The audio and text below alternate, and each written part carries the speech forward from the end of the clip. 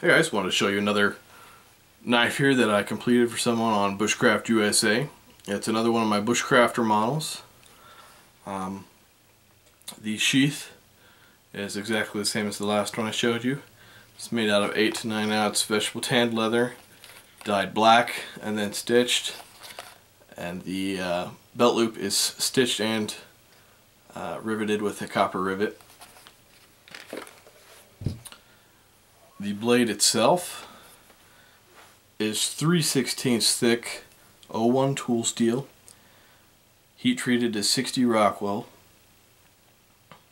Um, it has a 3 quarter height flat grind on it with uh, hand rubbed satin finish.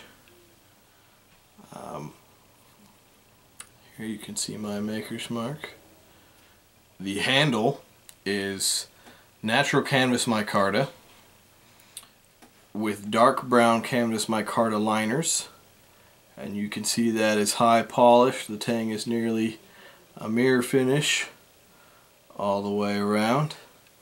The spine of the blade is a sharp 90 degree angle for striking a, a ferro rod.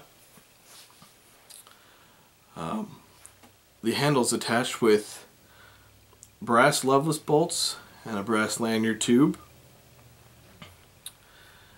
Um, and then my handle contouring I do similar to the Coke bottle only I leave the top here a little bit thicker to give you a little bit extra grip under your first two fingers um, and it is very secure comfortable in all grips.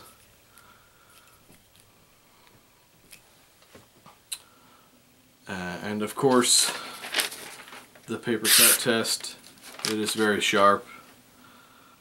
Um, thanks a lot guys. I hope you like it.